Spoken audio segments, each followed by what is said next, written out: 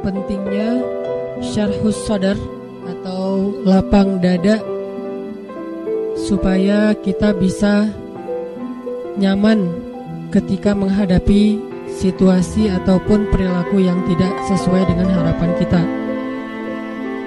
Syarhus sadar ini berlaku hubungan kita dengan Allah. Syarhus sadar ini dipakai ketika hubungan kita dengan orang tua, hubungan kita dengan pasangan, hubungan kita dengan saudara, dengan teman, dengan tetangga, dengan siapa pun. Karena kalau kita nggak punya syarhus sadar, nggak punya kelapangan dada, kita susah untuk lega menghadapi orang lain.